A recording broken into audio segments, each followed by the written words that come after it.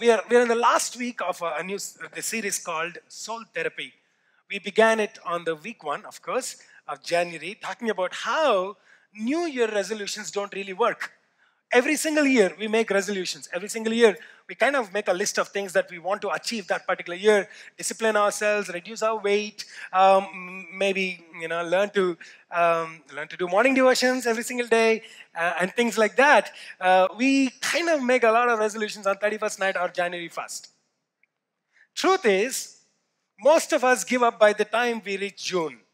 Well, technically, I, the, a survey says that 85% of us give up our resolutions by the time we reach February 14th. That's an interesting day to give up our resolutions. We like the old self back, so we declare our love for our old self and give up our resolutions and go back to that. 85%.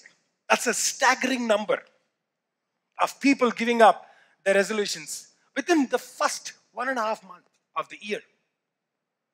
So we began to think through this, wondered why we are unable to make changes, unable to make um, keep up our resolutions. This year, we want to help you that the resolutions that you made on the 31st night of the 1st of January, that you would be able to actually com- accomplish them um, by throughout this year. It doesn't have to be like 2019. It doesn't have to be 2018. 2020 can be a year where you actually accomplish what you resolve to do.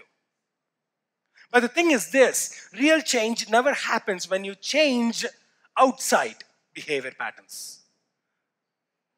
That is not how you're going to change. Real change happens when you begin to work on the condition of your heart. You see, when something happens inside, things start changing outside. Something has to happen at the soul level. That's why you need to occasionally take a break and begin to have a deeper, harder look at your soul and see what are the areas that are stopping you from accomplishing the resolutions that you made in the beginning of the year. What are the things that are stopping you from accomplishing what uh, God planned for your life? And so we thought it's a good way to start um, this year to have a deeper look within ourselves, course correct ourselves so that we can accomplish uh, our resolutions this year. I know this is a hard series, but it's a good series to start off with because um, you know the next nine, uh, 12, 11 months are going to be um, easy uh, for us. That's why we started looking at four core issues that we all have in our lives, that we all struggle with, um, and talked about what, what is the real problem there, how do we overcome that. And, and on week one, we talked about addictions. Uh, I want to tell you this everybody is an addict. All of us are addicts. Not the people who just use uh, substance abuse, but every one of us are doing things that we don't want to do, we know are wrong, but still do. That's called addiction, by the way. When you do a thing that you know you don't want to do it, you also know that it is an evil thing, but still you keep doing it, you're addicted. Whatever that is. So we talked about how do we overcome addictions. Uh, and we uh, realized through the scriptures the only way to overcome the things that we do, we keep doing, that we don't want to do but still do, is to fast and pray. And that's how we began our 21 fasting day, uh, fasting journey. On the day one itself, I talked about this and I said the only way to deal with addiction in our life is to come to God, fast, and pray. Fasting, uh, sorry, prayer helps us to connect with God. Fasting helps us to disconnect with world, and that's how you overcome addictions. We talked about in week two. We talked about insecurities. Um, that's another core issue with us. The problem with us is this that we always try to live our life by the standard others set. We measure our lives by the standards of others. And that's why we always feel insecure about ourselves. We always feel insecure about what we achieved. We always think as we compare ourselves with somebody else, measure our lives with them, we are always going to feel insecure about ourselves. So we said that's an improper view of your life. The proper view of your life is to look at yourself from, from the eyes of God. But you can't look at yourself from the eyes of God if you don't know how, if you don't have a clarity on who God is. That's why I said the, the, the only way to overcome insecurity is to see God clearly. You see God, you understand how God looks at you. So, that's number two. Last week we talked about depression. One of the core issues um, that keep us from achieving our full potential is, uh, is depression. A lot of us struggle with that. Well, all of us struggle with depression. At some point in our lives, we have all, all gone through that, those valley experiences. Some of you maybe are still going through right now. And we talked about how depression can keep us from achieving our full potential that God has in store for us. And the only way to overcome depression is to grow and worship God. Worship fills our hearts with, with, uh, with, with joy. Worship helps us to see God clearly. Worship helps us to fill that emptiness that we feel um, with God. This week, we're going to look at another core issue, and I think this is one of the hardest subjects to talk about today. We're going to talk about anger. How anger is a big problem in our lives. This, this, this message, as much as it is for you, it is also for me. I want you to know that. As I pen down every single word, I know God was speaking to me. I know I struggle with this. And so that means I'm talking uh, to me as I talk to you. Um, I already talked to myself this morning, but I'm still talking to you again. Proverbs chapter 29, verses 22.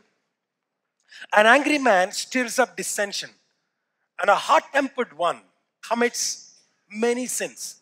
Remember this. Again, the wise man in chapter 14, verses 17 says this. Write down all these scriptures, huh? they're very important for you to go and uh, review yourself. Uh, chapter 14, verse 17. A quick tempered man does foolish things. Now look at these two verses. These two verses talk about three things uh, an angry man commits.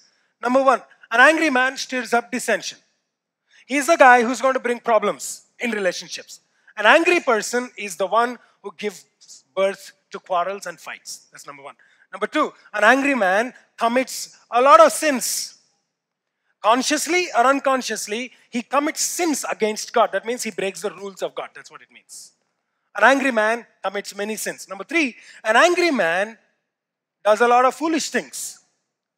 That means an anger, in anger, we make us we make so many decisions that we know really foolish when you look back at it.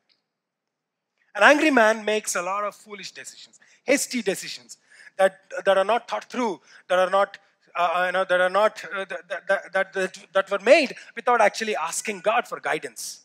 So you end up making foolish decisions. Many of us could be facing so many troubles in our lives right now, in our relationships, simply because we have not dealt with anger issues. James takes this thought about angry man one step further. In James chapter 1, verses 20, this is what James says Man's anger does not bring about the righteous life that God desires. If I'm an angry person, I cannot live a life that pleases God. That's what it means. So, by committing sins, by doing foolish things, by um, bringing up, stirring up dissension among people, I am, I will not, never be able to live the kind of life that God wants me to live, a righteous life. Could it be possible that many of your marriages are in struggle right now simply because you're an angry person? Could it be possible that you are not able to settle down in one particular workplace simply because you don't know how to live in peace among people? that you are a man who, is, who has no control, you are a woman who has no control over your, uh, over your words, over your thoughts, thought process, that you, you, you just get flared up just like that.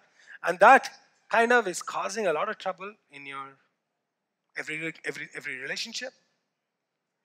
You know, all of us are angry people. I want you to understand that very clearly. Some of you are like, ah, this message is not for me, this is for my husband or maybe for my wife, or my son, my brother who's living in America. But I want you to know that all of us have anger issues. Here, there are only two kinds of people here, right now in this place. there's this group of people whom we, let's call them skunks. You know what a skunk is, right? If you don't know, just Google it right now. a, skunk, a skunk is a squirrel looking like animal which kind of spreads a lot of bad odor. You try to catch it, and the, the things that it, it kinds of farts out, you don't want to be near to that. Some of us are like that, skunks. When we open our mouth in our anger, nobody can stand with us, you know, stand around us. The, the things that we talk without even thinking, people, even if they like you, because of your anger, they don't want to be around you. Skunks. If you're not a skunk, you are a second category. All of us fall in these two categories, by the way. The second category, let's call them the turtle people. You know the turtle, right? The, the one with the shell. If you are not like skunk, spilling out every, uh, venting out your anger, you either, you either do that or you hide everything inside. Piling your anger up under the shell, hoping that you'll get an opportunity to burst it out. Uh, and when it actually happens, everything gets destroyed. Everything gets destroyed. You've got to deal with that. If you don't deal with your anger, if you don't learn to overcome, you're going to destroy your marriage. You're going to destroy your children. You're going to destroy your own profession. You're going to destroy your life. We are, in anger, we are like this. We are either my way people, that means you got to do it my way. All of us men, we suffer with this. All the, all the wives are actually happy when I said that. Many of us, not all the men, but many of us suffer with this. Is called what I say has to be done in this home. If things don't happen the way we want them to be done, we just get flayed up.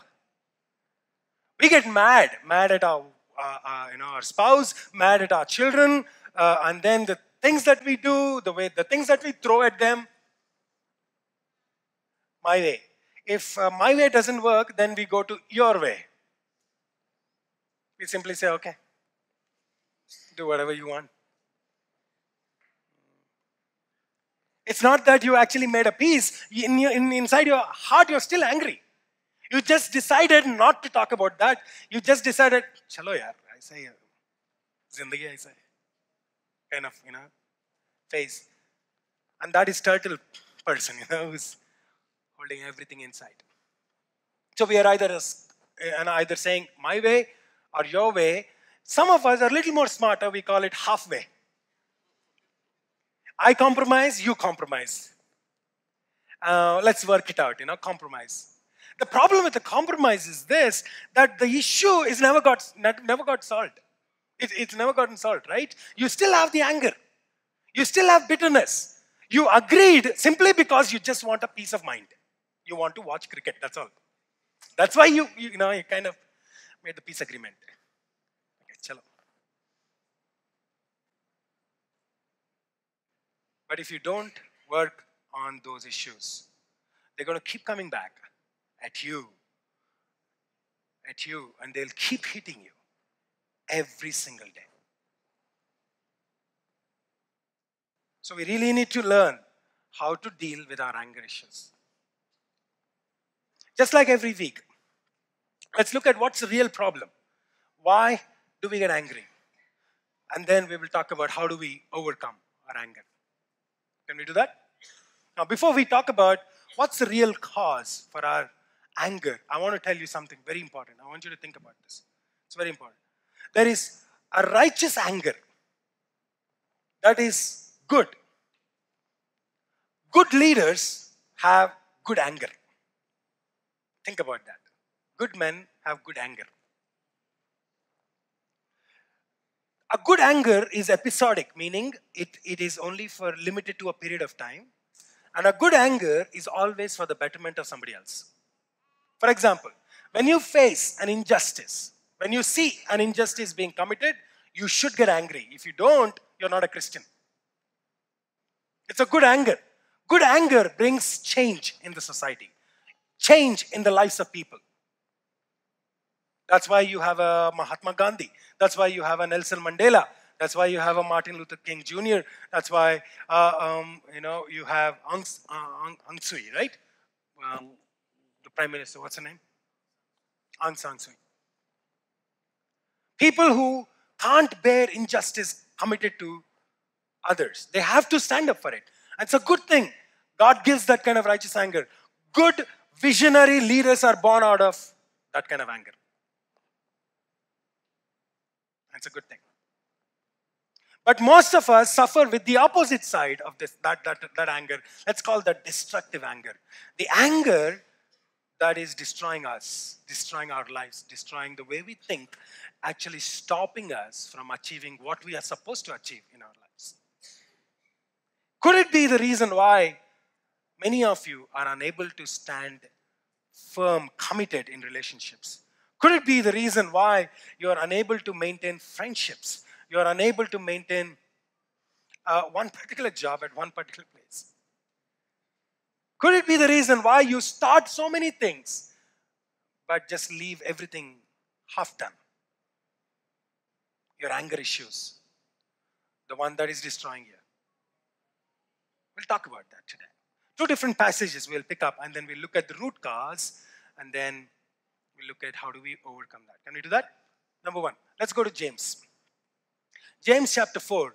James nails this idea of what actually is happening in our lives and why those things happen. James chapter 4, verses 1. What causes fights and quarrels among you? Fights and quarrels, wars are born out of people who are angry. Basically, that's why there is quarrel, there is fight in marriage, there is quite among, uh, fight among brothers, quarrels among nations, is because there are two parties that are angry and they want to get even with each other. That's why you have fights.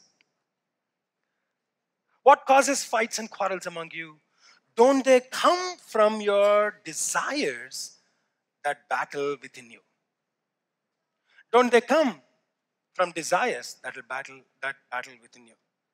In that one single statement, James nailed the root cause of our anger. There may be 101 reasons, different reasons, but this is the root cause. That's what I mean for getting angry. Why do we get angry? Because something within us got hurt. Our desires that battle within us. Another translation of the same verse says, the cravings within you. The cravings within you. Actually, I like the message version um, of the same uh, chapter, same verse. Let me just read that for you. If you don't have a message version on your phone or on your Bible, just listen to this. James chapter 4, verses 1. Where do you think all these appalling wars and quarrels come from? Do you think they just simply happen? Think again, he says this.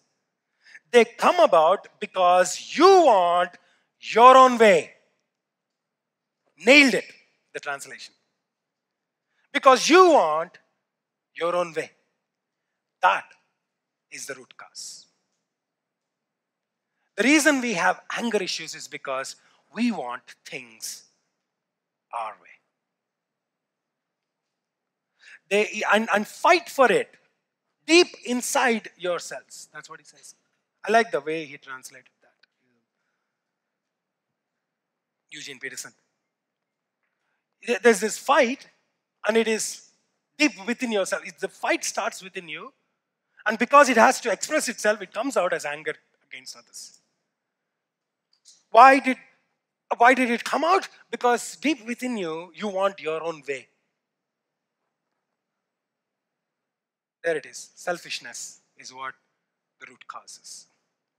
If addiction happens because of idolatry, that you replaced God with something else, and if insecurity happens because you have an improper view of yourself, and depression happens because you are trying to fill your heart with something else to meet your desires, to meet that hollowness, loneliness. Or uh, anger happens because you filled it with selfishness, your heart. You see, basically, what James is saying, what I'm trying to tell you is this the reason why you are getting angry is not because of others, not because of your spouse, not because of your child, uh, not because of your circumstances. It's not about them. It may be that uh, because of them, right now you're angry, but it's not about them, it's about you. That's what James is trying to say. Anger issues are because of you, not because of them, not because of them. What I'm about to teach you today, you may not like it. You may never come back to Capstone, and it's okay with me. I rather build people rather than a church full of people. Um, if you don't like me, no problem. Next Sunday I'll be much more better. Okay, I'll be more butter you, butter you up next Sunday. But today, let me just be hard. Before I talk about how do you overcome your anger issues, you got to be honest with yourself and ask God, can you help me? Maybe you're like David, you need to join David and pray the same prayer that David prayed in Psalm 139, verses 23 and 24. Say, Search me, God. Search me. Know my heart. Test and know my anxious thoughts. Things that are causing me to get worried, things that are, you know, making me anxious and angry. See if there is any offensive way within me and lead me to the way everlasting. What a prayer it is. Huh? Maybe we should pray that prayer today. Before you actually want to see how do you overcome anger, you really need to be honest with yourself. Whether you think that you have anger issues or not, you still need to ask God. Just put your defenses aside today. Put your all these accusations aside today. Um, know, the people who cause the anger, the circumstances that are causing you anger, get, get, get angry, put them aside. Just honestly ask God to help you. Well, let's do this. In fact, let's pray that prayer right now. Would you close your eyes? If you want God to help you today through the message, pray this prayer. Search me, O God, today. Show me anything in my heart that is offending you. And then help me lead me into the way that is everlasting, in the way that is right. Amen. Let's talk about how do we overcome our anger issues. When Jesus was on the earth, so I'm taking you back from James back to Jesus, um, to Matthew chapter 16. In Matthew chapter 16, a conversation is taking place between Jesus and his disciples. It was an event where one of the disciples showed a, a, a burst of anger against Jesus. Eh, you may not look at it from that angle, but, it, uh, but the way that disciple reacted to Jesus shows that he, he felt, you know, this sudden burst of, mm, how can you say things like that kind of anger? It was uh, in the context, I'll, I'll set the context so that you'll understand the verses well. Um, by the time we come to Matthew chapter 16, Jesus is already well into ministry. Um, people, everywhere Jesus went, people followed him. I mean, hundreds and thousands of them. The popularity of Jesus rose to all time high during that time, that period. We call that great Galilean ministry. He was doing fantastic work. Everywhere he went, people loved what Jesus was doing, what Jesus was saying. Uh, in fact, in order to hear him, people would run before he reaches to a next village and wait for him to come and talk to them. That's how popular Jesus had already become. So, this rising popularity of Jesus is uh, in, you know, making the disciples more excited. They're more, they're actually happy. You know, they, ah, Jesus is getting super famous. He's now going to become the king because the messianic idea of a Jew at that point of time is that the that Messiah would come and take down the Roman Empire under whose rule they are now living. Uh, they, you know, technically they are second-class citizens under the Roman Empire. So Jews have been expecting the Messiah to come, pull down the Roman Empire, then sit on the throne as the king of the world. That was their expectation of the Messiah. So when disciples began to follow Jesus, their journey with Jesus uh, uh, uh, was an exciting journey. So exciting it has become now that um, the, the, the, the popularity of Jesus is making them to think ah, the time has come. Jesus is going to become the king. He's going to overthrow the Roman Empire. In the Jerusalem, he's going to sit on the throne of David. Uh, um, and if he sits on the throne, we being the closest people with him, we are going to get cabinet positions. So they started talking among themselves who's going to be the prime minister, sorry, uh, home minister, who's going to be the uh, finance minister. Uh, of course, finance ministry is already taken by Judas by then, uh, but then they had this uh, you know talk about who is going to be what ministry, you know, who's going to be in what ministry, what kind of position they're going to hold, who's going to be the greatest among them. That's the fight. So Jesus saw the um, the, the fight among themselves about who is the greatest among all the disciples, he pulls them aside and begins to burst their bubble and talk to them about what really is going to happen when he goes to Jerusalem. He was trying to tell them, hey guys, you got a wrong idea of what I'm going to become. You think I'm going to overthrow the Roman Empire and become the king? The truth is this when I go to Jerusalem, these Pharisees, these Sadducees, these scribes and lawmakers, teachers of the law, they are going to catch me and crucify me. That's the reality. I'm not going to become the king. In fact, they're going to kill me.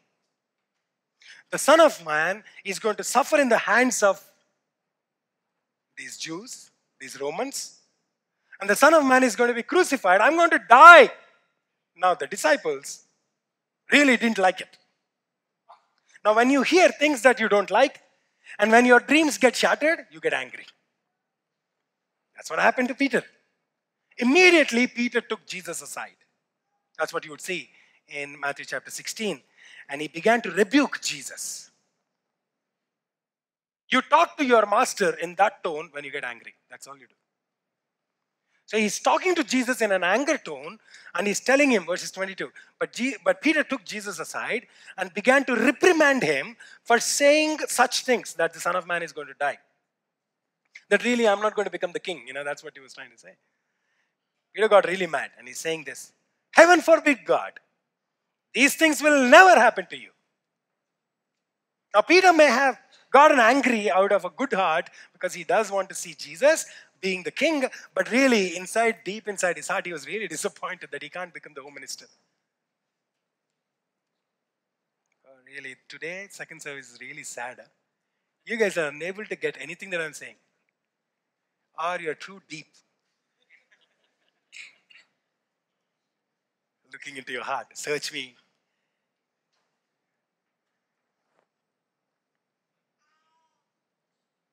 That was his problem. He has an issue that if Jesus dies, what's going to happen to me? That's what's running in his head. And Jesus looks at him, scolds him for talking like that. You, Satan, he says, right? Get away from me. Then he begins to address the real issue of anger. How do you overcome that? I told you, you are not going to like me today. And this is what Jesus is talking. Verse 24. Then Jesus said to his disciples, If any one of you wants to be my follower, you must turn from your selfish ways. You must deny yourself. That's what he's saying. You must turn from your selfish ways, take up your cross, and then follow me.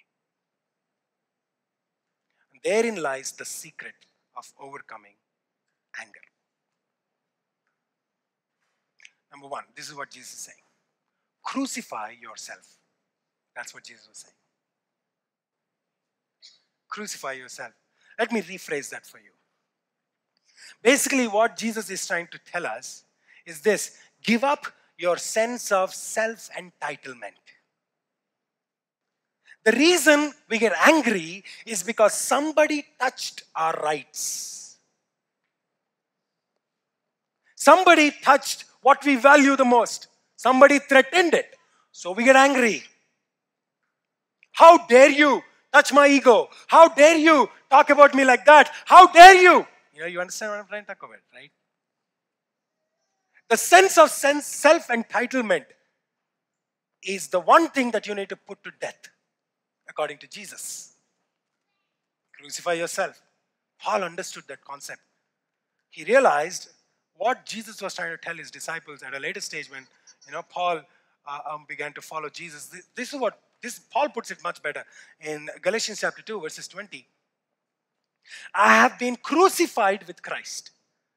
I no longer live, but Christ lives in me. Basically, what Paul is saying is this I'm a dead man. I don't live anymore. The life that I'm living right now, I cannot claim it mine. It is Jesus. Any Christian who is not dead will have anger issues. If you are not dead to yourself, you see, the moment you accepted Jesus Christ into your personal life and chose to give up the kind of life that you used to live before, you decided to die for that. That life. You wanted to die, that, die there, so you died. And then you rose in Christ. So the life that you have now technically belongs to Christ. You don't have any rights. That's my point. But that's not what we want to hear, right? This morning, husbands or wives, we don't want to hear that. You don't know what happened this morning, Pastor. You're going to tell me that. Or at least that's what you're thinking in your head right now. You don't know the kind of things my husband said this morning. He didn't even apologize as we came to this church.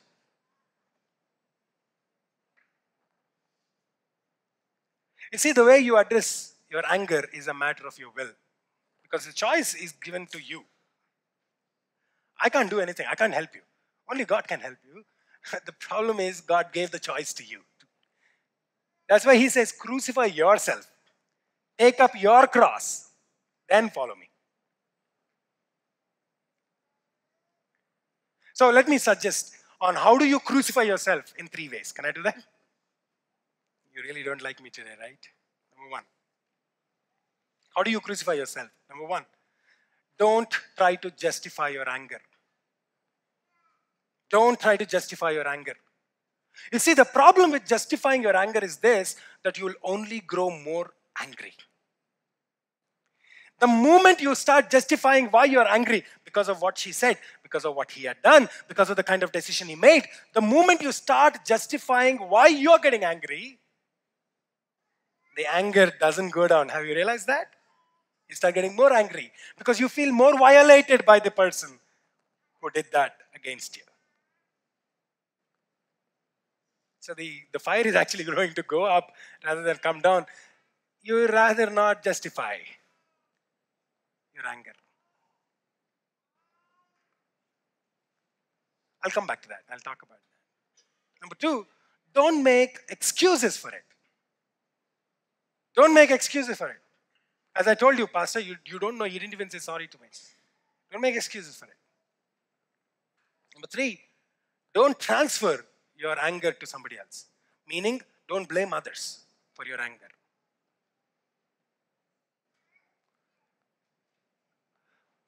Own up your feelings that you're feeling right now, the anger feelings, and ask God to help you to deal with them quickly, right now, here. You don't want to go back from this service without dealing with your anger. Somebody once said like this, describing the issue of anger. Anger is like spilling something on a clean white shirt. Every time I wore a white shirt, I spilled coffee on myself.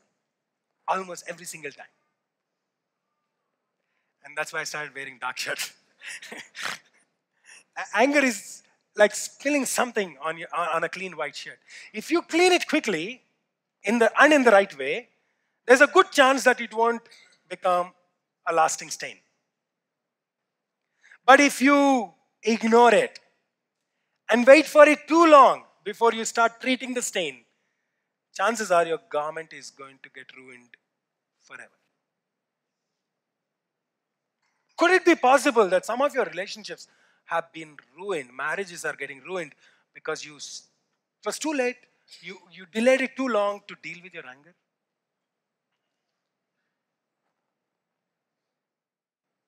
Does that mean that I have to, you know, spew it out immediately? Um, let me just explain that. venting your anger is not going to solve your problem. I'll come to that actually. Let me explain that towards the end. Not right now. I don't want to run ahead of my time. But some of you are looking at me and saying, But I have a right to be angry.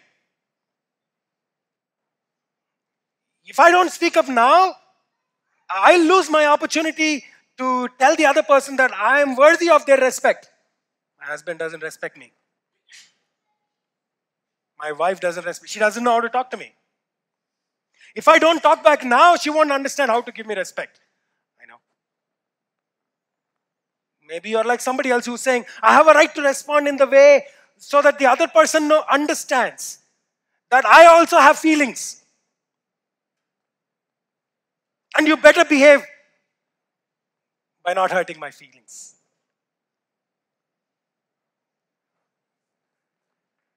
Uh, the thing is this the truth is that you don't have a right to say, I have so called rights.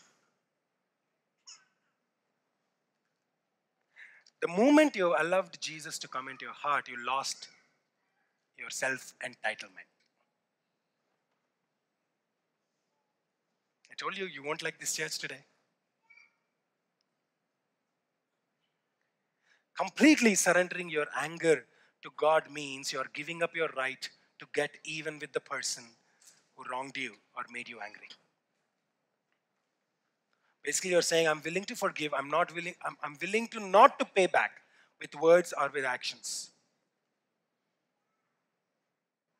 If you can do that, then there is a chance for healing process to begin. Paul says this in 1 Corinthians chapter 15, verse 31. I die every day. Some of us are like zombies, you know. we are dead before, but sometimes we like to get up. Zombies. We like to, we like the old, old life. So we,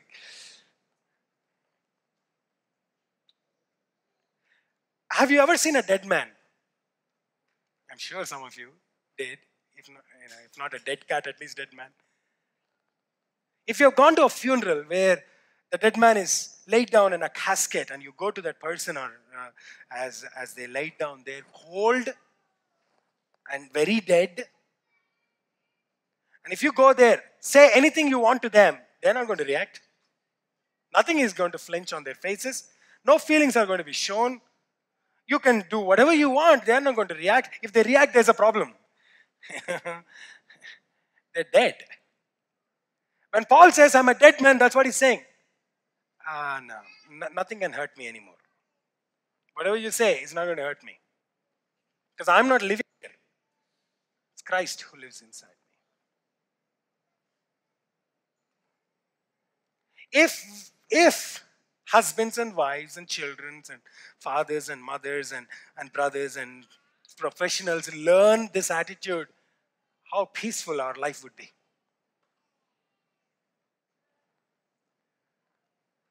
be willing to give up your self entitlement, then God can do something with your anger. Number two, first, he said, crucify yourself. Number two, crucify your flesh. I won't take much time. I just wanted to spend more time on the first one. So, second and third point, I'll run through. Crucify my flesh. In other words, don't let what you want drive your life. Don't let what you want drive your life. Paul again in Galatians chapter 5, verses 24. Those who belong to Christ Jesus have crucified the sinful nature with its passions and desires. Meaning, whatever I want, I also crucified that along with myself on the cross. Doesn't it? Are you, are you able to get that? When you crucify your wants, then you won't let what you want drive your life anymore. It's because we don't get what we want, we get angry. I told you right in the beginning. It's because people are not talking the way we want them to talk, not behaving the way we want them to behave. We not uh, things are not happening the way that the way we want. We get angry. What you want crucified to the cross, then maybe there is a chance for you to get over your anger. For God to you know, step inside and then begin to work process of re- recovery in your life. Colossians chapter 3, verses 5. Paul says, Put to death, therefore, whatever belongs to your earthly nature. Put to death. Whatever belongs to you, put it to death. Don't let what you want drive your life. That's my point. Romans chapter 6, verse 7. 6 and 7. For we know that our old self was crucified with him so that the body of sin might be done away with. That we should no longer be slaves to sin because anyone who has died has been freed from sin. I gave you the verses back to back because I want you to go back and read them and just spend some more time. I know, you know, in 40 minutes I can't change your life, but if you go back and start reading the word, the word of God would begin change change process inside. That's why I'm giving those scriptures. Crucify yourself, crucify your flesh. Number three, crucify the world. Crucify the world. Let me explain that to you. most of us let the world, the definition of the world, the success, drive our lives. Many, basically, this is what I'm trying to say. We have a um, definition of what is a successful person. That, that, that is defined by the world around us. If you make this much money, if you do this, if you achieve this, then you are successful. The world has already defined a measurement, a standard of what success is. And that got drilled into our head. Now we define any achievement that we achieved in our lives by that standard. If we are unable to reach for some reason that standard, we get angry. We let the definition of success by the world define who we are. If you don't change that definition, then you have a problem. Many of us struggle with anger issues because our pride gets hurt. If you don't achieve something, you get angry because your pride got hurt.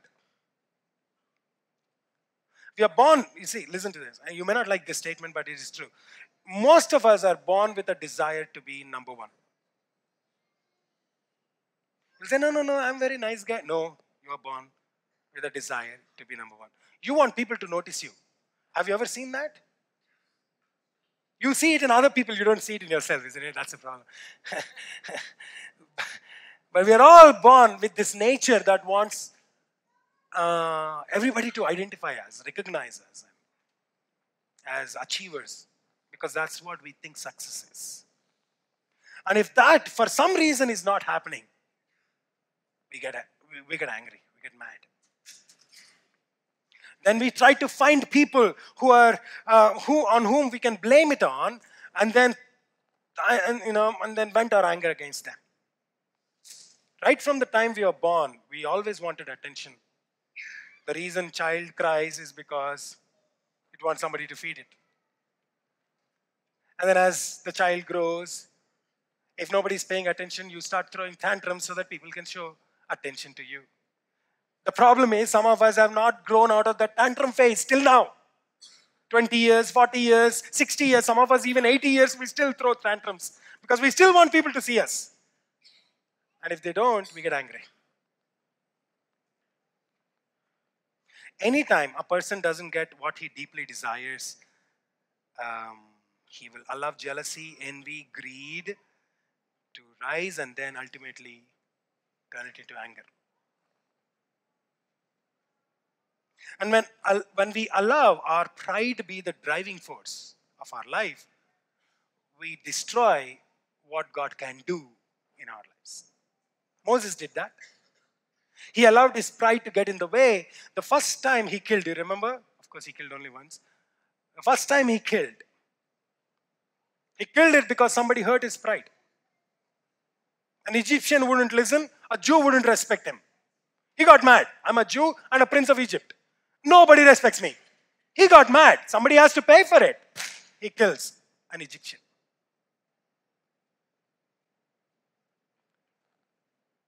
He let his pride uh, make him a murderer. He let his pride stop him from getting into promised land. He knew the instruction from God not to tap on the, the rock, but the people were so frustrating, the people he is leading. He can't go back and complain because he's the one who asked God, I want to take these people also. Can't go back to God, can't deal with these people. He just showed his frustration on the, on the rock. By doing the very thing that God doesn't want him to do, and by that, lost opportunity to get into promised land. Could it be possible that some of you are losing your chances of growth because you can't deal with your anger? A Saul. Saul is one guy who just couldn't control his anger. His issues were so evident outside. When David was declared the king and Saul knew David is going to be the next king, his anger against David drove his entire life after that. So much so, he relentlessly pursued David all his life, destroying his life and destroying his family in the process. Some of you, because of your anger, not only destroying yourself, but you're destroying the people who depend on you, your own family. I always wondered how Jonathan's life would have looked, how different Jonathan's life would have looked different had he not got into battlefield along with his dad against Philistines. You know that Jonathan and Saul were both, father and son, both were killed on the same day. You know that, right? And you know, Jonathan and Saul are totally different guys. They have a totally different characteristics. He's a good man. Jonathan was a good man. While Saul is an anger, anger-filled man.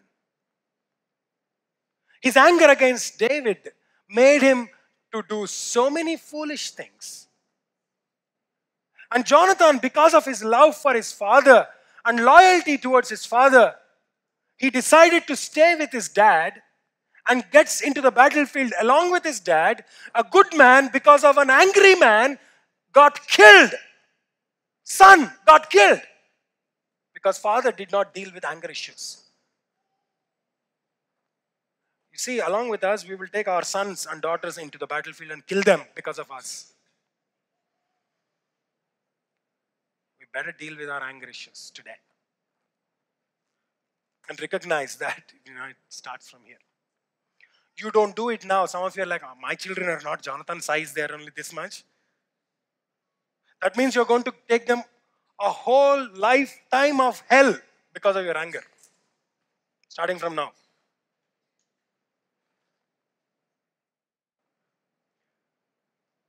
Therefore, come out of them and be separate, says the Lord. You got to be different as a Christian. Let me close up with this. Some of you are like, I don't know how to deal with this. This zombie keeps coming back. I don't know what to do with this. I know. So, because you don't know what to do with this, you thought venting out my anger would be easier.